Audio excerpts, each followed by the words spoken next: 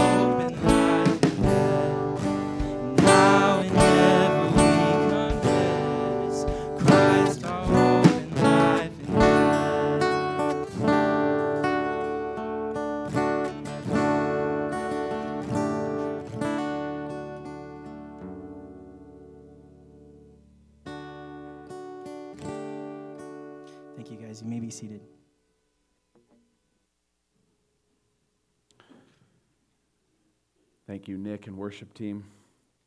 We continue our worship this morning through the public reading of God's Word. I'll be reading from Acts chapter 5 this morning. But a, a man named Ananias, with his wife Sapphira, sold a piece of property. And with his wife's knowledge, he kept back for himself some of the proceeds and brought only a part of it and laid it at the apostles' feet. But Peter said, Ananias, why has Satan filled your heart to lie to the Holy Spirit and to keep back for yourself part of the proceeds of the land? While it remained unsold, did it not remain your own? And after it was sold, was it not at your disposal? Why is it that you have contrived this deed in your heart? You've not lied to man, but to God. When Ananias heard these words, he fell down and breathed his last. A great fear came upon all who heard of it. The young men rose and wrapped him up and carried him out and buried him. After an interval of about three hours, his wife came in, not knowing what had happened. And Peter said to her, Tell me whether you sold the land for so much. And she said, Yes, for so much. But Peter said to her, How is it that you have agreed together to test the Spirit of the Lord? Behold, the feet of those who have buried your husband are at the door, and they will carry you out. Immediately she fell down at his feet and breathed her last. When the young men came in, they found her dead, and they carried her out and buried her beside her husband. And great fear came upon the whole church and upon all who heard of these things. And this is the word of the Lord. Would you pray with me? Father, we confess to you this morning that we are, in our own ways, like Ananias and Sapphira, we are bent toward our own self preservation. Father, we confess that we all hold back in our hearts from you. Lord, whether that's truth, whether that's our giving, whether that's our gifts, whether that's our service, some part of us we keep hidden away from you, from one another. Lord, forgive us. God, even knowing that a little leaven leavens the whole lump, Father, we sin in this way and we're sorry. And Father, we, we know that you know all of these things. We know that you know our, our inner hearts. We know that you know our thoughts and our minds and our motivations, and nothing escapes your eye. You are sovereign and all powerful and all knowing. And we know that, and we worship you for that, but we lie anyway sometimes. And so, Father, we confess that before you this morning. And we also thank you for sending your Son, our Lord Jesus Christ, for the message to repent, to turn from that kind of way of thinking, to turn from those lies and untruths, and to be granted forgiveness, to be granted salvation, to be, to be given the right to be called children of God, to be reconciled, to go from an enemy to a friend of our Creator, of our Heavenly Father. Thank you. We love you. We praise you.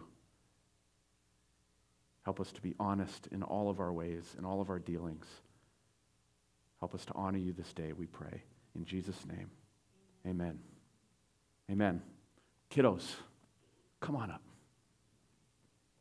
What a wonderful opportunity we have to bless these children as they come to worship. And just as a reminder from the video, uh, we would love to offer uh, nursery so that our nursery kids can continue worshiping through the summer.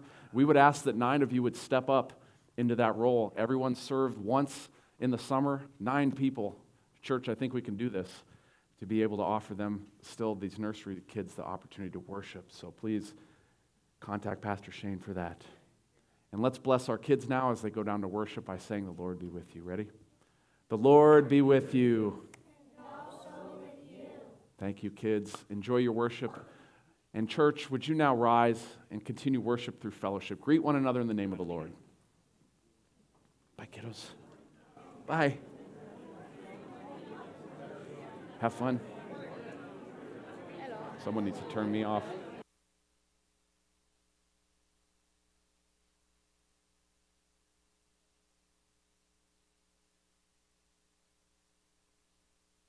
Morning. Good to see you. Am I on? Someone needs to turn me off. Am I off now? No, I can still hear me. Turn me off.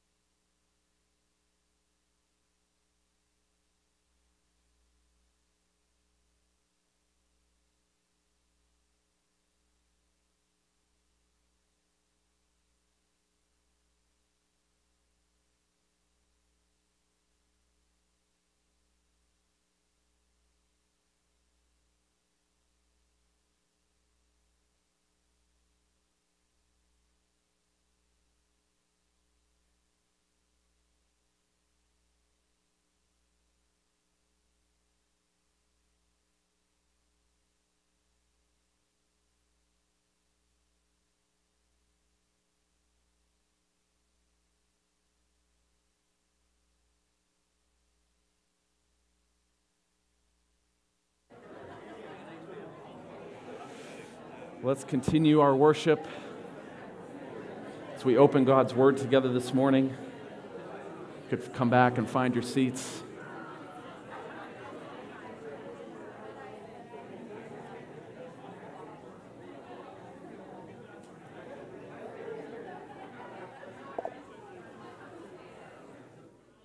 It's good to be with you. Let's continue our worship through the preaching of God's Word this morning.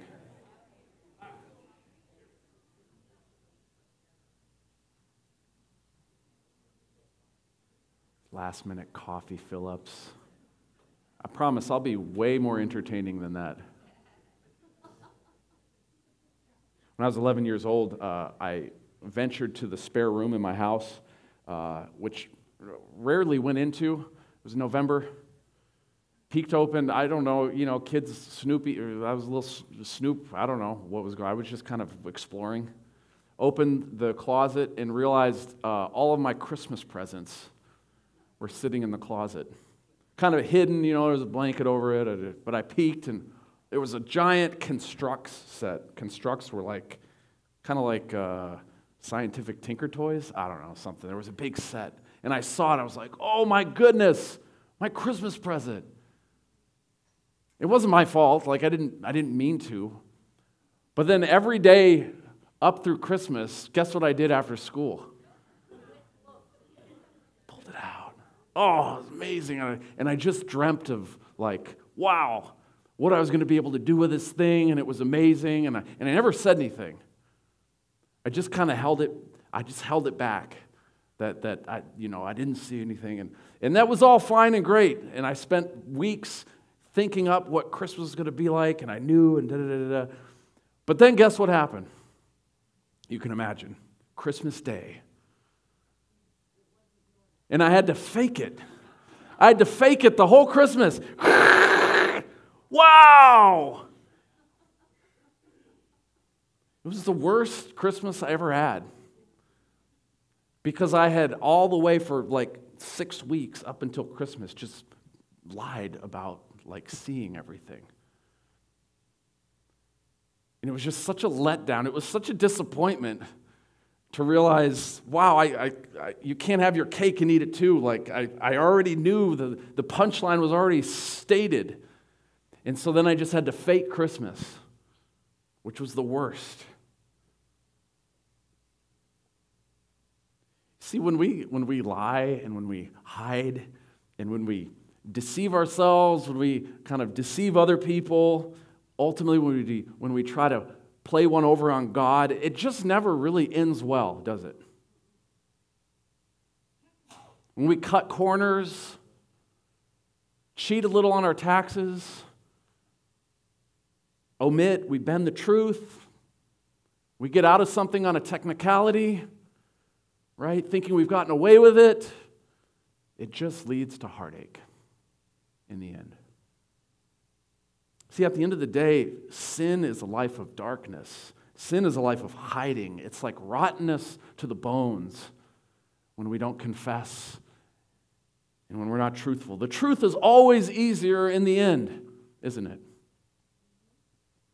Integrity and honesty bring life to ourselves, bring life to other people. Well, we know this. You know this. Then the question is why do we still try to get away with it? We do, don't we? Sure, we do.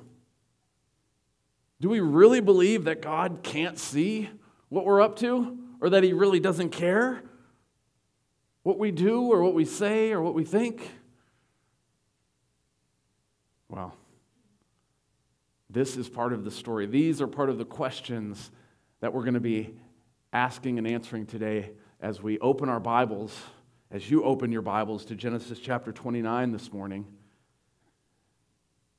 And as we continue following Jacob, the heel grabber, Jacob, the deceiver, let's see what happens when the other shoe drops. Let's see what happens when he reaps what he has sown. So open your Bibles, open your Bible apps. Genesis chapter 29. And as you're turning there, or as you're scrolling there, we remind ourselves that Jacob is on his journey to find a wife in his ancestral homeland in Haran. He's just had an amazing encounter with God. He's seen a giant staircase, he's seen angels ascending and descending. He has seen God and heard God reaffirm his covenant with him. And so, just like Abraham's servant before him, who goes off to find a wife, Rebekah, for Isaac, let's see now what happens with Jacob. Genesis chapter 29.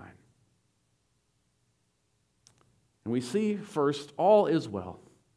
Verses 1 through 14. Let's, let's look at this. Then Jacob went on his journey in verse 1, and he came to the land of the people of the east. Now, the English translation gets a little lost here. He literally, in the Hebrew, picked up his feet. I scanned all the English translations. The only one that really gets this is the Amplified version. I don't know if you've ever read the Amplified Bible. And it says he briskly and cheerfully walked. Another way to think about it is he had a spring in his step. Have you ever seen those movies where they do the thing, right? This is Jacob. In, in chapters 27 and 28, think about it. He's managed to steal a birthright, he stole a blessing, he's witnessed a divine vision, he's been affirmed by God in his covenant. God didn't even rebuke him when he made his compromised oath last week, if you remember that. So Jacob's feeling pretty good about himself, walking briskly, nice and tall, and he's going on his journey. Things are pretty good as far as he is concerned. Maybe. Maybe. Now, I want you to note here there's also a, a little phrase here the people of the east, that he is journeying to the land of the people of the east. Now, if you've been aware of the book of Genesis up until this point, going out to the east is not a good thing necessarily. Let me share with you just a few things here about going east. Uh, east was the gate of Eden by which Adam and Eve were thrown out, and the cherubim was stationed in the gate of the east to keep them out of the garden. Cain, when he was sent away from God's presence after murdering his brother, was sent out to the east, away from the presence of God. Lot separates from Abraham by going east, away from Abraham, and he winds up in a cave and going into Sodom and Gomorrah in the east. So this note of Jacob going to the east probably is foreshadowing a foreboding of something that's about to come. So we're not quite sure here in the story if this is altogether a good thing, but Jacob sure thinks he's on fine footing. Well, that being said, verse 2, he says, Behold, a well, look, a well. After almost a 500 mile journey in the desert, he finds water. That's a good thing. And it's described with this added emphasis of a large stone being rolled over it. It's, that's actually mentioned three times in verses 2 and 3. And this stone would have been rolled away by multiple shepherds when the flocks gathered.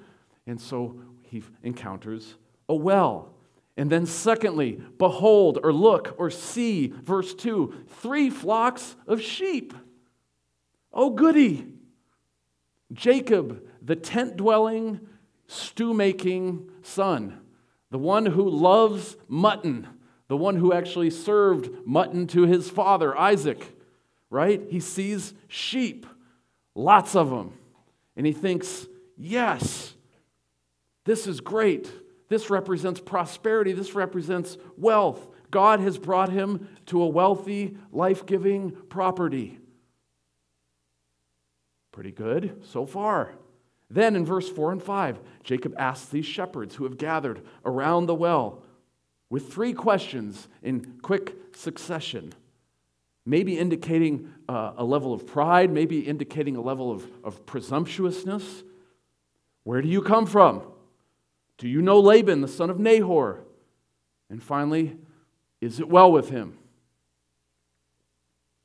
Literally, is there peace with him? Literally in the Hebrew, is there shalom with this man? And they say, yes, peace. Yes, it is well. Which is an ironic question and statement. If you know Laban, and you know we've already introduced him a few weeks back as a little bit of a greedy swindler, and if you know the rest of the story, you know that there's going to be anything but peace with regard to Laban. And so, an ironic question is there shalom with this man? Yes, there's shalom. And actually, in this story, this word peace is never mentioned again because Jacob doesn't have much peace after this moment in time. Yet, for Jacob again, God has brought him here then to the right place. He's found the right property, he's found the right place, people here. And then in verse 6 and 7, the third, behold or see. He sees Laban's daughter, Rachel's coming. And not just that, she's coming with more sheep. And then Jacob suggests to the shepherds, guys, even though it's not quite time yet, you should go water the sheep and pasture them. But they object in verse 8 we can't until all the flocks are gathered. And so then, immediately in verses 9 through 12, as Jacob is speaking with these shepherds, Rachel approaches with her flock. And I want you to note here, it says in verse 10 as soon as Jacob saw Rachel, but not just saw Rachel, what else does he see? As soon as he saw Rachel and the sheep, Obviously, this thing about sheep is interesting because we keep repeating it over and over and over again. Jacob not only sees the woman that he's after, he also sees her sheep because Jacob has two loves. And if you know the story about to be upcoming here in the next number of chapters, you're going to see his interest in his flocks as well as his wife. Two loves. And so, as he sees her coming and as he sees her sheep coming, he responds by rolling this giant stone away that isn't supposed to be rolled back yet. He does it all by himself, and he waters her flock alone. Interesting, this little note here, because it's not the right time of day. If you look back in verse 7, this is what Jacob tells the shepherds. You only do this when all of the flocks are gathered. And yet, and then we also find from verse 7 that the shepherds themselves, the stone is so big that multiple people have to roll this away. But Jacob does it all by himself. I got this, he's thinking. I can do this all by myself. And then he kisses her in welcome. He lifts up his voice. Your translations might say he wept aloud, which is the sense of it but he lifted up his voice, literally. Just like in verse 1, he lifted up his feet. Remember? Now he's lifting up his voice as if to say, Ha ha! Everything is falling into place. He's not weeping out of sadness, he's weeping out of joy as if, as if to say, Eureka! I've encountered all of the success, I've got it. Because God has led me to the right people now. You see his foolhardiness?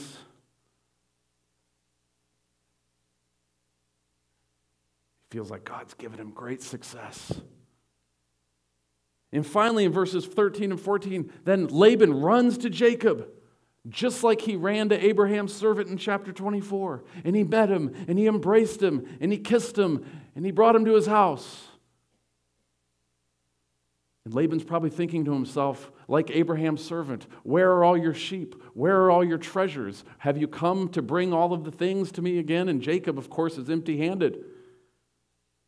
And so Jacob, it says in, in verses 14 here, is relating all of these things to his uncle.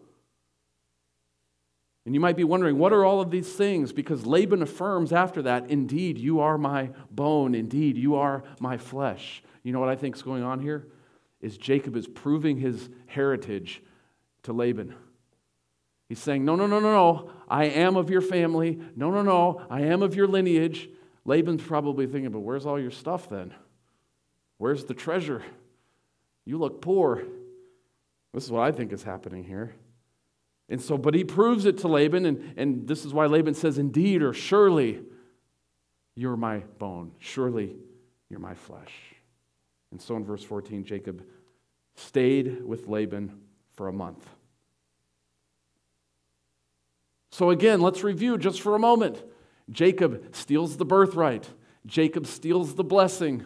Jacob gets reaffirmed by God with the covenant. He's seen the grand vision where the Lord has appeared to him. And now he sits before him flocks and flocks of sheep and wells and, and the right people, and his journey has gone exactly to plan because all is well. Right? Right? And friends, I think it's worth pausing just for a moment to consider that success doesn't always mean blessing. Did you catch that? Success doesn't always mean blessing. If you are operating outside of God's promise, if you are operating outside of God's word, as Jacob is doing here, friends, the bigger house, the higher promotion, the increase in salary, the absence of judgment, the getting away with it moment doesn't mean that God won't bring some kind of future judgment into your life. So don't be so quick to assume that success means blessing necessarily. Jacob certainly thinks everything is a okay right at the moment. But it doesn't mean that God won't let the other shoe drop. So all is well until all is not well. So let's see how this story ends up. Verses 15 through 30. Now, I want you to note this is where Laban begins to enter the story here. I've already mentioned and alluded to the fact that Laban was introduced in chapter 24. He was very interested in the in Abraham's servant's treasure that he was going to receive. He received costly ornaments back in 24 for giving up his daughter uh, Rebecca or his sister Rebecca. And now the repetition in this story is Laban, his, uh, Laban, Jacob's mother's brother. If you look at this three times, it's repeated in verses 9 through 12. Laban, the mother's brother. Laban, the mother's brother. These are not arbitrary emphases here. Laban, his mother's brother. Who's the mother's brother? Or who's, who's the mother? Rebecca. Who was Rebecca last time we saw her? She was the mastermind of deceit. She's the one that planned Isaac's downfall, right? And now we're encountering Laban, the brother. He is the, in, in, other words, this is a clue, a literary clue that shows us that Laban is the master of deceitfulness. You think Re- Rebecca was bad, wait till you see her brother. For those of you that know the, the Urban Dictionary, uh, uh, Laban is the OG of deceivers. OG, you all with me? The original gangster of deception, the OG. And so, this is what I think when you see his mother's brother, his mother's brother, his mother's brother. This is Laban. And he says in verse 15 and following, Because you are my kinsman, Jacob, literally my brother, should you therefore serve me for nothing? Tell me what your wages should be. And in parentheses here, now Laban had two daughters. The name of the older was Leah, the name of the younger was Rachel. Leah's eyes were weak, but Rachel was beautiful in form and appearance. Jacob loved Rachel, and he said, I will serve you seven years for your younger daughter, Rachel. Laban in verse 19 said, It's better that I give her to you than I should give her to any other man. Stay with me. So Jacob served seven years for Rachel, and they seemed to him but a few days because of the love he had for her. Ah, isn't that sweet? A few observations here. Whereas Rebekah in chapter 27 had told Laban to stay with Laban for a few days, if you remember, go stay with your uncle for a few days so that Esau's anger can abate. And whereas Jacob in chapter 29, verse 14, stayed with Laban for a month or a month of days, there's a shift now from staying with your uncle to serving your uncle.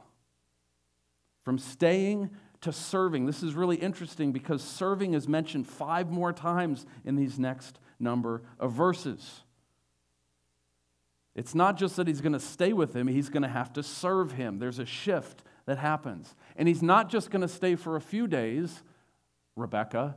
He's not just going to stay for a month of days, what Jacob thinks. How long is he going to stay? Or how long is he going to serve? He's going to serve 14 years for these, for these ladies. And he's going to serve six, seven more years longer than that for the flocks. We don't know that yet.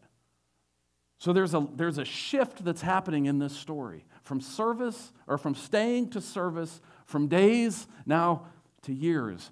We haven't gotten there yet, but there's indications. And then the narrator of this story, he also distinguishes in these verses between the older and the younger. Did you notice that? The name of the older was Leah, the name of the younger, Rachel. And he said, I will serve you seven years for your younger daughter. Jacob is being very specific here.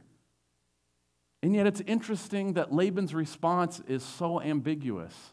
Yeah, I'll give her to you. Well, well, wait a minute. Well, which one? The older or the younger? It's interesting that Laban responds very ambiguously. We're not surprised by this ambiguity. Jacob says, I'll serve you for the younger, and Laban says, Yeah, I'll give her to you. Hmm. Pay attention also in verse 20 that while Jacob served seven years, which was uh, a normal kind of contract for a wife, but this is even over and above. Seven years is more than the norm. And they seemed to him but a few days. The same language Rebekah used in the first place go stay with him a few days. Jacob says, This was just like a few days. Verse 21, he says, My days are complete. And this is just reflective of the fact that Jacob, in his foolhardiness, this deceiver, is deceiving himself in a sense. All is good in his mind. All is continued to go according to his plan. All these years just seemed like some days because that's all he thought of them as. And so Laban makes a feast. He waits until it's dark. There's likely, scholars think, some drinking involved. And then he pulls a fast one. And so in the morning, in verse 25 and 26, in the morning, behold, look, it's not Rachel, it's Leah.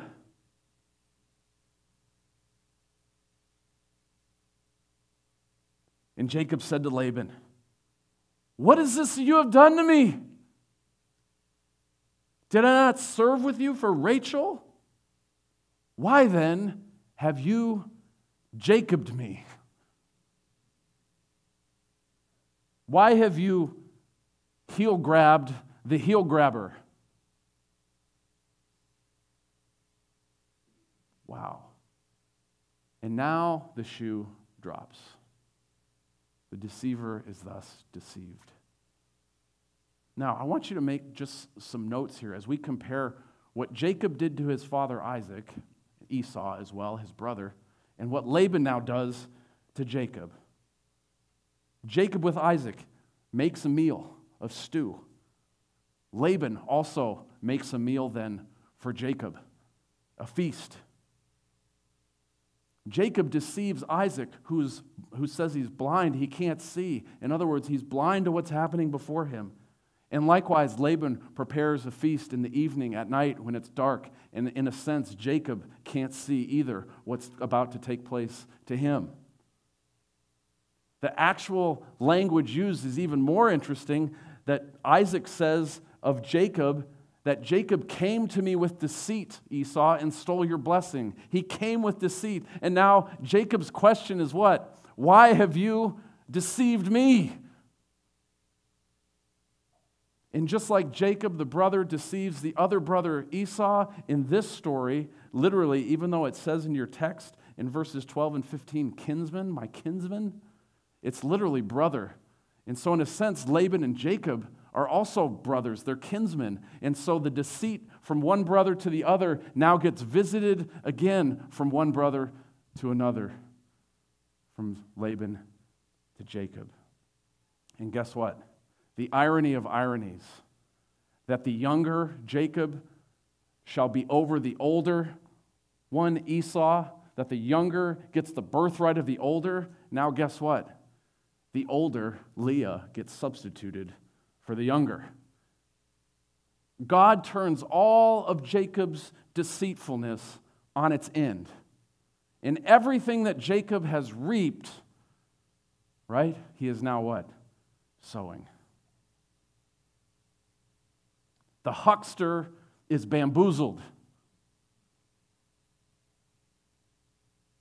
And then Jacob justif- or uh, Laban justifies his action, saying in verse 26, "It's not customary to give the younger before the firstborn."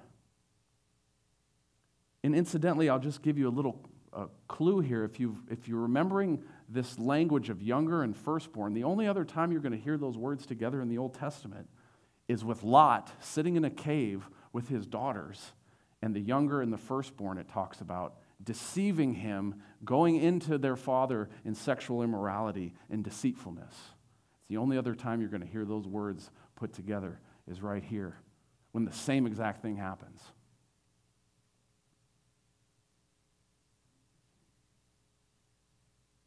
And so, to finish this story, just to, to, to do the text here, verse 27 to 30, Jacob and Laban, they agree to add for another seven years to his contract for Rachel. And you'd think that Jacob now after having been hoodwinked, might learn a lesson from God, repent of his evil ways and his deceitfulness, and yet his response in verse 30 is that he loved Rachel more than Leah. Very interesting, isn't it? I want you to listen to the echoes here of that statement. He loved Rachel more than Leah. Chapter 25, verse 28. And Isaac loved Esau, but Rebekah loved Jacob. Later on, chapter 37 of Genesis. And Israel, Jacob, loved Joseph more than any of his other sons. I want you to listen in the New Testament to the Apostle Paul in 1 Corinthians chapter 1. It has been reported that there is quarreling among you each one of you saying, I follow Paul, I follow Apollos, I follow Cephas.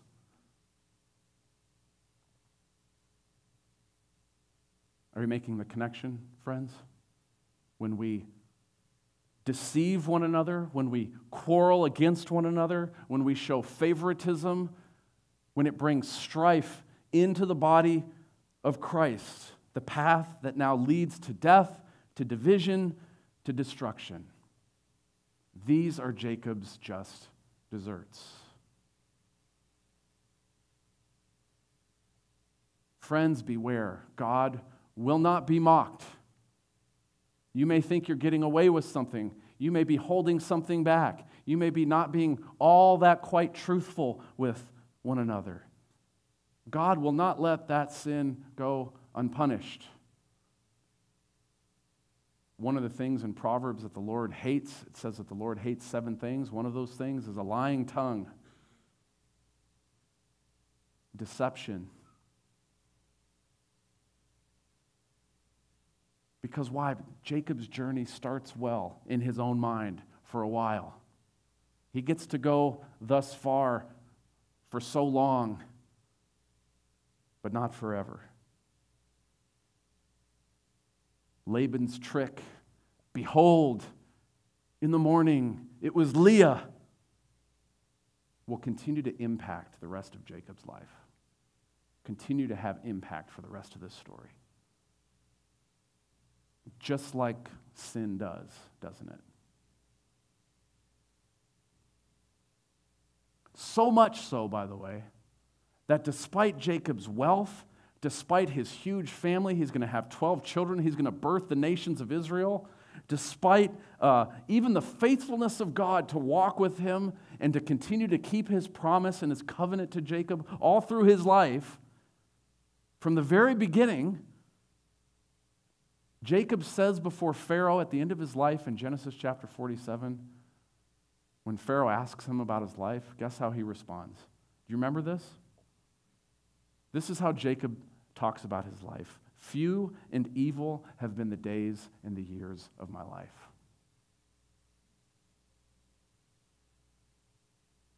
That's what sin, that's what deception ends up costing Jacob.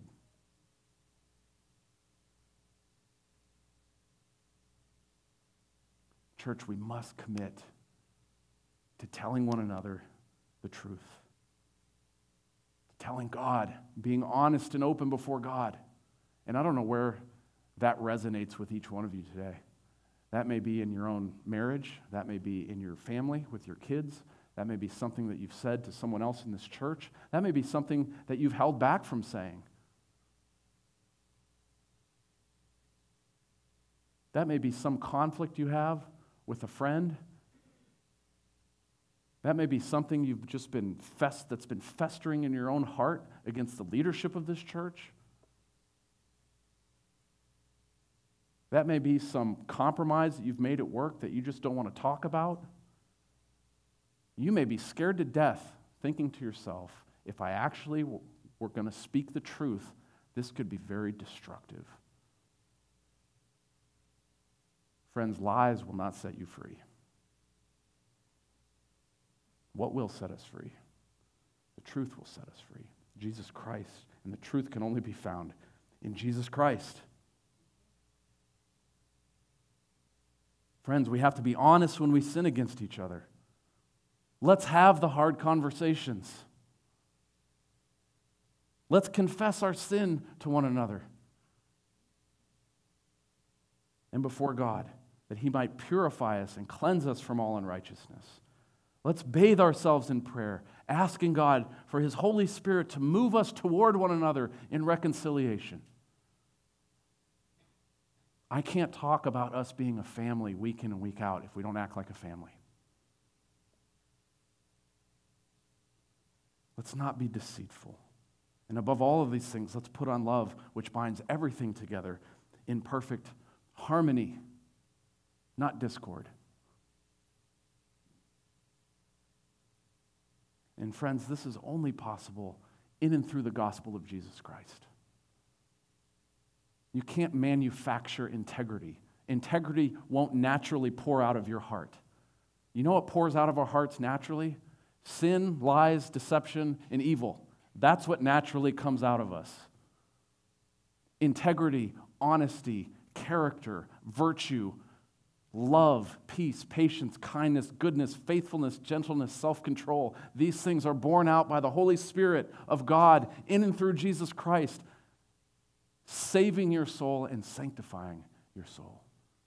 And so, friends, if you're sitting here today and you've never considered the claims that Jesus Christ is exactly who he says he is in the scriptures, that he's the Son of God sent from heaven to earth to die for your sin and not only to die for your sin and raise you unto glory and reconcile you with the Father, but to reconcile all of creation again to itself, to declare victory over sin and Satan and death, to show his power over all things, to usher in a new heavens and a new earth one day. All of these things are true at the cross. And if you believe that by God's free grace and the gift of his free grace, then you too can have everlasting life. And that, my friends, is when you will begin to want to tell the truth. And you will begin to lean into reconciliation, and the church will begin to heal. And despite all of the difficulties that may come through the process of reconciliation, because it's not easy, we will begin to grow and we will begin to be healthy. And the cancer of deceitfulness will be eradicated. We'll chemo cancer that cancer right out of this congregation.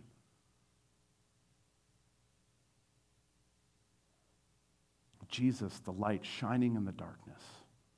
And that light was the, that light was the life of men, or that life was the light of men. May that be the light that begins to intrude and impede into each one of our lives this morning.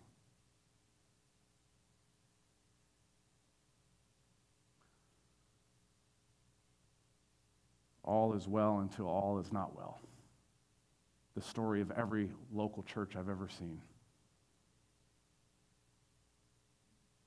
So let's cry out this morning, friends. I want you to do something with me that we don't normally do, but I want you to read along with me this psalm of David after he commits this egregious sin against God with Bathsheba in Psalm 51. I want you to read this passage with me.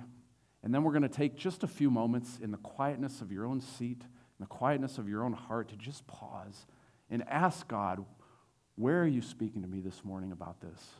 What do I need to do to pursue reconciliation and to begin telling the truth in all areas of my own life? So, would you read this with me out loud if you feel comfortable? Have mercy on me, O God, according to your steadfast love, according to your abundant mercy, blot out my transgressions. Wash me thoroughly from my iniquity and cleanse me from my sin. Purge me with hyssop, and I shall be clean. Wash me, and I shall be whiter than snow. Let me hear joy and gladness. Let the bones that you have broken rejoice. Hide your face from my sins and blot out all my iniquities. Create in me a clean heart, O God and renew a right spirit within me. Cast me not away from your presence, and take not your Holy Spirit from me. Restore to me the joy of your salvation, and uphold me with a willing spirit. Would you just pause now? Close your eyes. I'm going to have Nick come up and just strum in the background, and would you just spend a few moments with God, asking Him to reveal in your heart what it is that you need to listen to this morning.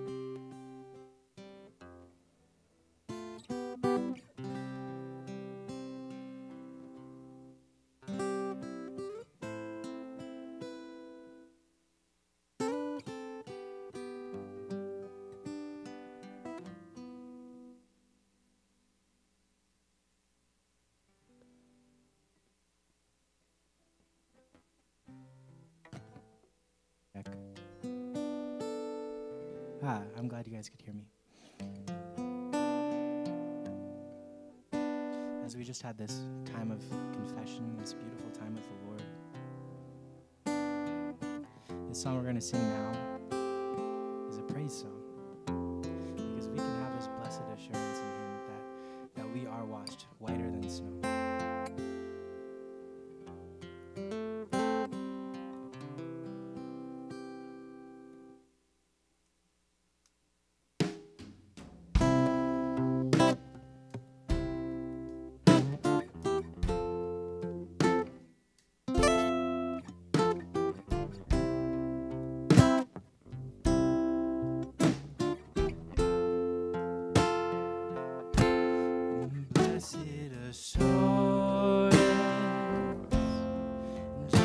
promise is mine. Oh, what a foretaste of glory divine.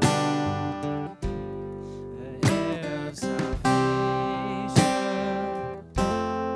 purchase of God.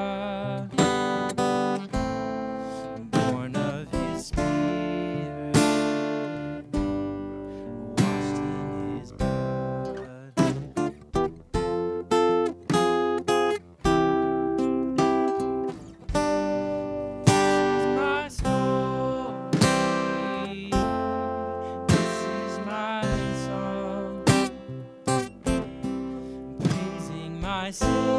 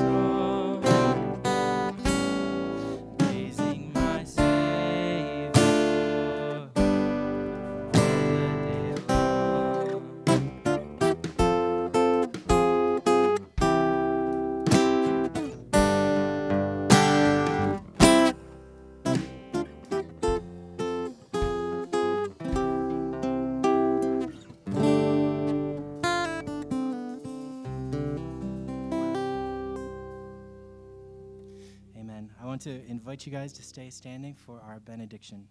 Our benediction today is from Micah 7 18 through 19. It says, Who is a God like you, pardoning iniquity and passing over transgression for the remnant of his inheritance? He does not retain his anger forever because he delights in steadfast love. He will again have compassion on us. He will tread our iniquities underfoot. You will cast all our sins into the depths of the sea. And for that we say, Amen. Thank you. You may go in peace.